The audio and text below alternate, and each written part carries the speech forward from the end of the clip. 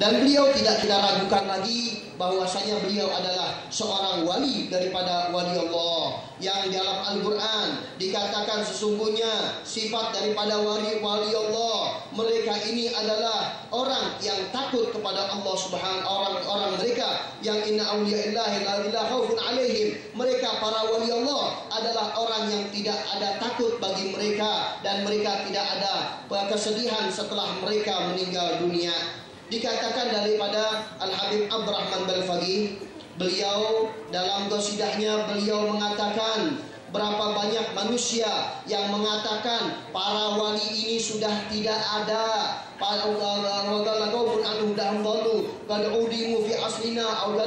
Banyak mereka mengatakan wali itu sudah tidak ada atau wali ini sudah sudah menipis. Maka bagaimana kita berani bisa mengatakan demikian? Padahal mereka adalah orang-orang wakil daripada Allah Subhanahu wa taala di muka, di muka bumi ini mereka sebagai penyalur apa yang diinginkan oleh Allah Subhanahu wa taala. Maka apabila orang-orang yang bagai wa kaifa yahlu alamu syahada anhum wa fihim wa fihim qudwatul gada bagaimana para wali tidak ada di antara masyarakat sedangkan wali itulah yang menuntun masyarakat. Maka orang-orang yang mereka ingin dan rindu kepada sifat-sifat demikian maka ikutilah jejak-jejak mereka Kemudian hadirin dikatakan jumlahnya wali itu sama dengan jumlahnya para rasul yang berjumlah yaitu 124 ribu. Yang ini setiap zaman selalu ada, tidak akan pernah kosong daripada mereka. Dan di antara mereka ada kutub, wali kutub yaitu wali yang paling banyak mengikuti jejaknya Nabi besar Muhammad sallallahu alaihi wasallam. Yang tentunya juga kita yakinkan bahwasanya bahwa bahwasanya di dalam uh, di, yang yang tinggal uh, yang bagi yang perlu bagi kita adalah bagaimana tinggal keyakinan kita kepada mereka. Yang tentunya Allah Subhanahu wa taala memberikan ajaran tentang keyakinan terhadap Nabi Ibrahim alaihissalam Nabi Ibrahim meminta kepada Allah untuk diperlihatkan bagaimana caranya menghidupkan yang mati maka Allah memberi, mengatakan apakah apakah engkau tidak beriman? Maka Nabi Ibrahim menjawab, bukannya tidak beriman, akan tetapi untuk menenteramkan hatiku. Ini berarti beliau meminta naik daripada tingkat keyakinan yang dari yang bawah sampai kepada tingkat keyakinan yang tinggi. Kemudian hadirin rahimakumullah yang dikatakan juga bahwasanya tentunya tingkatan yakin pertama adalah ilmu yakin yang kedua adalah ainul yakin dan yang ketiga adalah hakul yakin. Dan tingkatan keempat ada tapi khusus untuk Nabi Muhammad sallallahu alaihi wasallam. Tingkatan ini adalah tingkatan hakikatul yakin karena beliau langsung bertemu dengan Allah Subhanahu wa taala.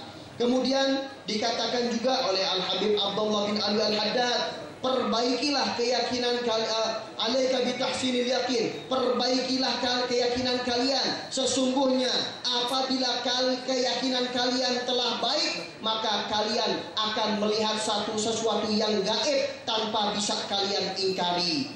Kemudian juga dikatakan dari uh, Sayyidina Ali radhiyallahu an, beliau mengatakan apabila hijab aku, apabila tabir aku dibuka sehingga aku bisa melihat yang gaib, maka tidak akan bertambah keyakinan pada diriku. Maksudnya baik dibuka atau tidak dibuka, keyakinan beliau sudah full keyakinan beliau sudah mantap kepada Allah Subhanahu wa taala. Tidak perlu lagi pembuktian, keyakinan beliau sudah sempurna. Kemudian juga dikatakan oleh Sayyidina Ja'far Shadiq radhiyallahu an ketika beliau ditanya, "Apakah engkau pernah melihat Tuhanmu ketika engkau beribadah?" Maka beliau mengatakan, "Aku tidak pernah beribadah kecuali aku selalu melihat Allah Subhanahu wa taala." Namun di sini perlu diketahui bahwasanya yang dimaksud daripada melihat Allah Subhanahu wa taala di sini adalah melihat hati beliau, melihat daripada keyakinan imannya sehingga beliau meyakinkan keberadaan Allah Subhanahu wa taala dengan kesempurnaannya. Kemudian juga dikatakan bahwasanya Habib Zain tadi mengatakan coba apabila kita mengatakan kita orang yang beriman, kita orang yang mempunyai keyakinan, maka lihat lihatlah ayat. Beberkan diri kita di dalam ayat ini apakah kita mempunyai daripada sifat ayat ini yang ayat ini adalah mengatakan sesungguhnya orang yang dikatakan orang yang beriman itu apabila mereka menyebut wa Allah, apabila mereka menyebut nama Allah, maka hati mereka akan akan tergetar. Kemudian apabila mereka membaca ayat-ayat Al-Qur'an, maka akan bertambah keimanan dan mereka akan selalu bertambah tawakalnya kepada Allah Subhanahu wa taala. Dan sifat-sifat mereka ini adalah selalu mendirikan sholat dan mereka selalu mengharap dari pemberian Allah Subhanahu wa taala. Kemudian ada satu cerita seorang sahabat yang baru berumur 17 tahun yang bernama Harithah yang pada waktu itu bertemu dengan Rasul Shallallahu Alaihi Wasallam. Kemudian beliau bertanya, bagaimana kabarmu wahai Harithah? Maka Harisa menjawab, aku pada hari ini benar-benar merasa beriman kepada Allah Subhanahu wa taala. Maka beliau mengatakan merasa benar-benar beriman. Rasul Shallallahu Alaihi Wasallam mengatakan, undur mataku, perhatikan ucapanmu wahai Harisa. Sesungguhnya setiap pembicaraan ada pembuktian. Apa bukti daripada ucapanmu? Maka Harithah radhiyallahu anhu beliau mengatakan, "Ya Rasulullah, diriku telah tidak lagi ada hasrat terhadap dunia telah zuhud di dalam dunia maka tidak ada bedanya di mataku antara emas dengan benda yang lainnya kekerasan atau kelembutannya dan seakan-akan aku langsung melihat kepada arsy Allah dan seakan-akan aku melihat orang-orang di sorga sedang mendapat nikmat seakan-akan aku melihat orang di neraka sedang diazab oleh Allah Subhanahu wa taala. Beliau sampai kepada keyakinan yang tinggi maka Rasul Shallallahu Alaihi Wasallam beliau mengatakan kalau begitu engkau benar mengerti wahai Harisah maka jagalah diri kamu. Karena hadirin rahimakumullah yang tentunya ini adalah inilah mereka adalah ainul yakin, hakul yakin yang dikatakan dalam qasidah Habib Allah ada mereka ini adalah orang-orang yang berjalan dengan keyakinan. Maka orang seperti ini inilah hadza tariqul sadatina inilah jalan daripada torigonya sadah para habaib para ba'alwi yang mengatakan keluar dari ini berarti mereka salah jalan daripada jalannya. Kemudian daripada cerita Harithah tadi Harisah radhiyallahu an tidak puas dengan keberadaan yang ada pada dirinya. Tapi Harisah meminta ya Rasulullah doakan aku untuk mati syahid. Beliau tidak pernah kenyang, beliau tidak pernah merasa puas. Akan tetapi beliau selalu mencari lebih, mencari lebih untuk lebih dekat lagi kepada Allah Subhanahu wa taala. Tidak sebagaimana banyak manusia di zaman sekarang yang mereka subhanallah banyak mereka ini mereka sudah cukup belajar sama pulang sudah cukup. Padahal coba lihat yang kita haulkan ini hadir yaitu Habib Syekh bin Salim. Beliau belajar dengan rajinnya belajar. Inilah contoh daripada mereka orang-orang yang benar dan yang baik. Bahkan Rasul Shallallahu Alaihi Wasallam pada waktu ia beliau diperintahkan oleh Allah, ya Allah tambahkanlah aku ilmu. Padahal Nabi Muhammad manusia sempurna, tapi beliau tetap diperintah oleh Allah untuk meminta kepada Allah ilmu. Kemudian lihat Imam Bukhari juga beliau berkata tidak disebut orang ahli hadis yang sempurna kecuali apabila mereka belajar dari orang atasannya dan belajar dari sesama kawannya dan belajar daripada orang yang di bawahnya. Kemudian hadirin rahimakumullah dikatakan dalam hadis juga seorang mukmin tidak akan kenyang dari kebaikan sampai akhirnya adalah sorga.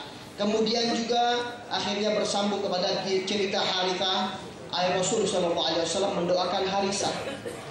Ya Allah berikanlah Harisah mati di jalanmu Mati meninggal dalam keadaan syahid.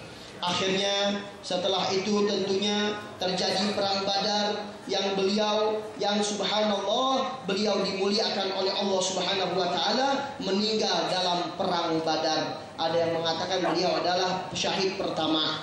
Kemudian ayat Al-Quran yang mengatakan jangan kau sangka orang-orang yang meninggal di jalan Allah mereka meninggal akan tetapi sebenarnya mereka hidup akan tetapi kalian tidak mengetahuinya. Ayat ini berkenaan dengan uh, orang uh, para syuhada Badar. Kemudian setelah Harithah meninggal dunia, ibunya datang. Ibu danya bertanya, "Wahai Rasul, di mana sekarang kedudukan Harithah?" Sesungguhnya aku ini mempunyai satu anak Haritha. Apabila Haritha ini tidak benar meninggal tidak mati syahid, maka aku akan selalu nangis. Karena orang tuanya takut kalau-kalau anaknya ini tidak meninggal di jalan Allah Subhanahu wa taala. Yang akhirnya hadirin rahimakumullah dikatakan juga bahwasanya wahai ibu Harisah ketahuilah uh, Ibu Harisah tadi bertanya apabila meninggal uh, dalam mati syahid maka beliau akan sabar Rasul Shallallahu Alaihi Wasallam menjawab, wahai ibu Harisah, ketahuilah bahwa sorga itu banyak tempat derajatnya dan anakmu Harisah beliau telah mendapatkan sorga yang paling tinggi yaitu sorga Firdaus. Kemudian hadirin yang dinyatakan lagi bahwasanya dalam ayat tadi orang yang awal ciri daripada wali adalah mereka yang beriman dan mereka bertakwa kepada Allah Subhanahu wa taala. Banyak definisi takwa yang dijelaskan, namun di sana ada definisi yang indah dari Sayyidina Ali karramallahu wajah yaitu takwa itu adalah orang-orang takwa itu adalah orang yang takut kepada Allah Subhanahu wa taala kemudian mengamalkan apa-apa yang ada di dalam Al-Quran dan rela terhadap pemberian Allah walaupun sedikit. Kemudian mereka mempunyai kesiapan untuk meninggal dunia. Dan juga dikatakan bahwasanya orang yang bertakwa itu adalah anda yaraka maulah jangan engkau Allah Subhanahu wa Allah tidak mendapati kalian di tempat-tempat yang dimurkahinya. Dan Allah selalu melihat kalian di tempat-tempat yang diridhoinya. Kemudian hadirin rahimakumullah banyak keuntungan orang-orang yang bertakwa dalam Al-Qur'an. Sebagaimana orang yang bertakwa Allah akan berikan ilmu laduni. Dan juga orang yang bertakwa Allah akan berikan rizki dari dari dari tempat yang tidak terduga-duga dan dijadi dan dikatakan juga bahwasanya orang yang bertakwa akan diberikan cahaya hidayah yang bisa membedakan yang mana yang baik dan yang mana yang buruk. Kemudian dikatakan juga oleh Habib Zain tadi masalah tentang mukjizat dan karomah bahwasanya mukjizat ini adalah luar biasa yang ke, ke, keistimewaan suatu hal yang luar biasa yang terjadi para, pada nabi ketika menggelar me, me, ketika menjabat kenabian. Adapun sebelum menjabat kenabian ini maka dinamakan irhasot. Adapun karomah ini adalah keluar biasaan keistimewaan tapi yang terjadi untuk para wali. Yang tentunya sekarang banyak orang yang ingkar keramat Orang banyak ingkar kepada karomah padahal ini jelas banyak dijelaskan di dalam Al-Qur'an. Yang pertama Al-Quran menjelaskan tentang surat Al-Kahfi tentang Ashabul Kahfi. Mereka tidur bertahun-tahun tanpa makan, tanpa minum Tapi dengan keadaan badan yang biasa. Ini adalah karomah Kemudian juga diceritakan daripada Asim bin Barham yang Nabi Sulaiman memerintahkan untuk memindahkan Ratu Balgis, maka beliau pindahkan dengan sekejap. Ini adalah karomah. Kemudian juga dikatakan oleh Sayyidatuna ketika Sayyidatuna Maryam beliau menggerakkan pohon korma maka jatuh ini adalah kar karomah. Kemudian hadirin rahimakumullah seseorang apabila mereka tidak bisa memandang karomah, tidak bisa meyakini sesuatu hal yang ajaib, maka pasang yang pertama adalah pasang di hati ketahui ketahuilah bahwasanya itu adalah takdir ketentuan dari Allah. Apabila Allah sudah sudah menentukan, maka tidak ada lagi sesuatu yang bisa mustahil. Apabila Allah telah menentukan, maka semuanya pun akan terjadi walaupun tidak masuk dalam akal kita. Kemudian maka dikatakan oleh Sayyidina Junaid, orang yang percaya dengan wilayah makom-makom kami, itu berarti orang itu telah mendapatkan sedikit daripada wilayah. Kemudian